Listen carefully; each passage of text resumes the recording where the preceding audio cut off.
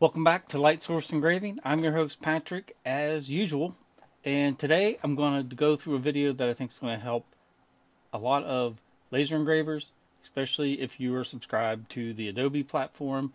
Adobe Illustrator now has AI built in that will generate vector files and I'm just going to go through some of the examples that they have and the prompts that they have already preset for you they're just examples that help you write your own prompts so you can use those as guides and then just quickly go through the different uh, they call them types. So we'll go through the four different types and quickly go through what they do and that is going to be it. But let's just jump right into Adobe Illustrator and get started. What I have here is a blank canvas and what we're going to do is just create our own quick little scene so what I'm going to first do is go to scene and I want to just describe a mountain scene with a stream and trees. And then you can draw a shape to specify how large or small you want your creation to be. So I'm just going to draw a rectangle there and it says match active artboard style. I'm going to turn that off and generate. And I just want to show you quickly what this does right off the bat and then we'll get into some more specifics. So while it's generating there are four types and the four types are scene which we just used subject icon and pattern. Now if we want to keep building this scene I can click the match active artboard style and it's going to use similar graphic for anything else we create in the future. So now let's say I want to add a bear. So let's add a bear catching a fish. Now I don't want a scene because we already have our background, but I just want the subject of the bear. So let's have it generate a bear catching a fish. And I did not turn on match active artboard style, so I don't know what we're going to get. If it doesn't match, all right, so here's the three bears that is generated there. So there's bear one. And then if you click these, it re will replace them, bear two and bear three. So let's say we really like bear three, and we can just take him and put him in this scene.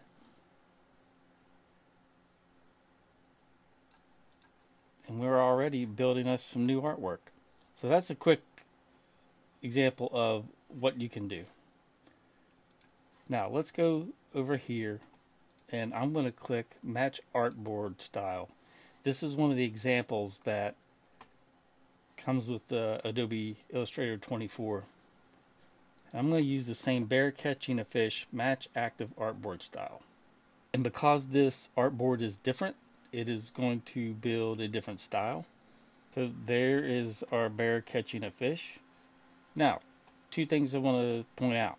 We did not specify what size we wanted this bear to be. So therefore, he is large. And it replaced the active scene. So if we control Z and get back to our scene, and let's say we want that bear to be about that big, then we can just click and have our bear and put him right in the scene and you can see that the artwork style matches the background scene. There's another bear and then you can click that and replace him again. Let's go back to our first one. Well, he looks like he belongs there he's kind of wet so we could put him standing on the side of the stream with his fish. Okay folks, let's assume that you haven't used the text to vector graphics application yet and you're not sure how to find it. Head up to the window menu and then scroll down until you see text to vector graphic. And then you can take this and nest it in one of your other windows if you like, or just let it hang out and float around. But the four types are subject, scene, icon, and pattern. So let's experiment with pattern first. Let's just draw a rectangle and then we're going to put a pattern in that rectangle. So our fill is active. We're going to go with pattern and they have some sample prompts abstract geometric maze organic hand-drawn fruits. Um, but we can do anything we want. So how about we do bear and a fish? Alright we are done generating. So here is the first bear and a fish pattern. Now the cool thing about these is they are seamless so you can move them around. You can also add them to your swatch menu but here's pattern one here's pattern two and pattern three. And then of course you can always make more patterns if you're not happy with those. If you head over to your pattern and you right click you can apply the pattern add it to the swatches or edit it. You can also rate your experience with the text to vector graphic application but that's just a quick rundown of how you can get uh, any type of pattern that you like. Now, let's go to icon. And again, they have the different uh, example prompts there. But I want to do a bear and a fish. Let's see, a bear catching a fish. And then I just want to do icon and I'm going to have it match the active artboard style. So hopefully we'll get something that looks kind of like this eagle. There's our first bear. There's a fish. And there is a bear fishing. And it does kind of resemble this style. But icon and subject are the two that will not have a background. They're more for uh, icons more for generating a logo perhaps and subject is just adding items to a scene that you already have created. So if we go back to this scene and I do the same bear catching a fish with icon, we'll get a different result. So here's our first bear catching a fish more like a bear fishing. There's our second. And our third. And then for scene, they have example prompts there. And uh, as we did the example earlier, you can make your own mountain stream scene. And then last was subject. And here's some of the subjects that I've created before. And then if you want, you can just drag and drop these subjects, icons, scenes, whatever you created right onto your artboard. So you don't have to replace items with those, you could just drag and drop.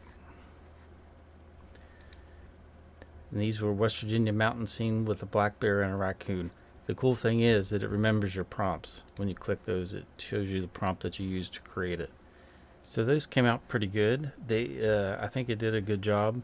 And I really like the fact that it leaves your prompts there for you to reference at a later point. So if we went back to pattern and uh, let's see, I think I did the pattern over here. It's going to keep your prompts that you use to create those patterns. Haven't created a pattern on this artboard yet, so we don't have any to reference. So we could always do a black and white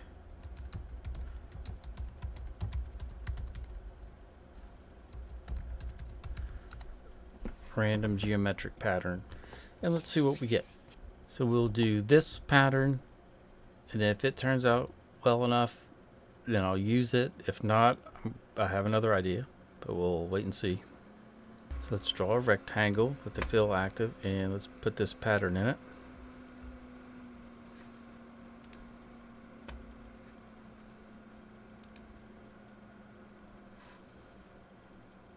And That's a pretty neat pattern.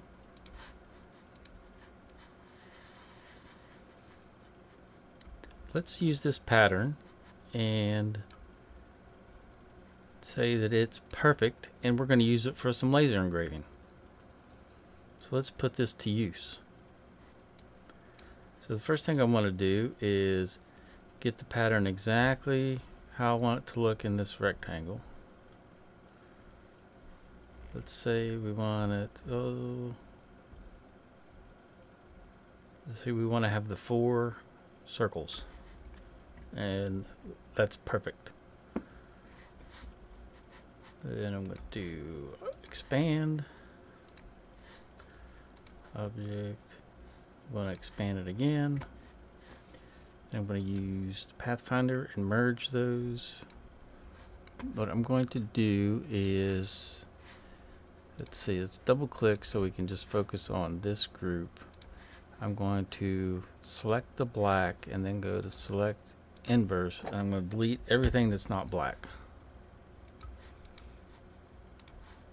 Alright, now I have everything that's not black deleted. I'm going to copy this, Control C, and then open up Lightburn and paste it right into Lightburn. Control V, and there we go. Now we just need to pick which laser we're going to use for this, and in interest of time, we're going to use the fiber laser.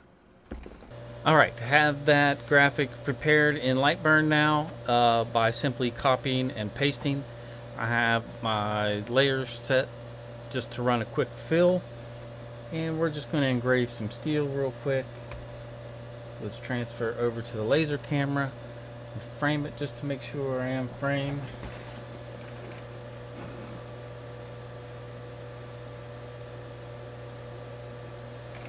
Alright, that's good. I know I am in focus. And let's just run this real quick.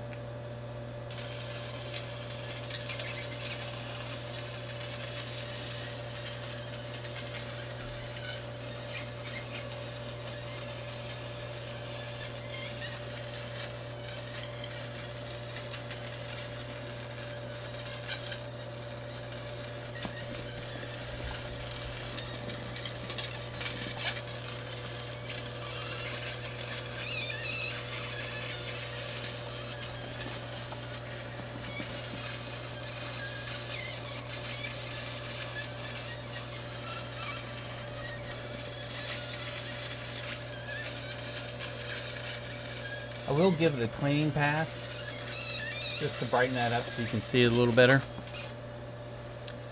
So we're just going to do that real quick.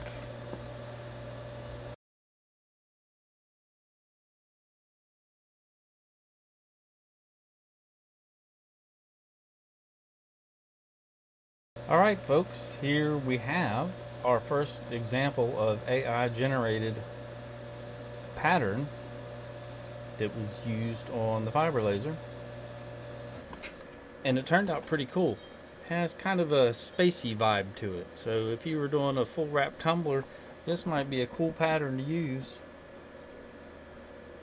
to go along with some planets or somebody that likes astrology, etc.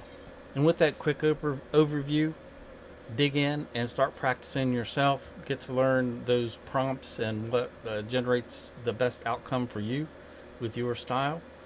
And that's all I have for today. And thank you to my patrons for allowing me to make these videos. By allowing me to buy practice supplies and testing supplies, it is a super big help. I appreciate it from the bottom of my heart. Thank you very much. Thank you to everyone that's watching. I appreciate every view that I get.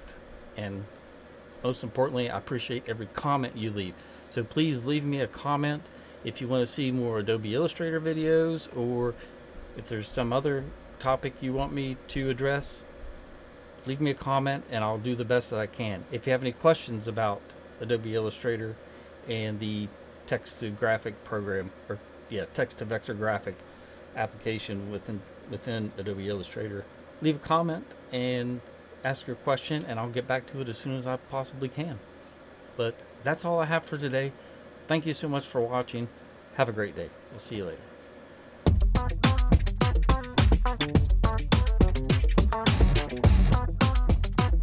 Thank you.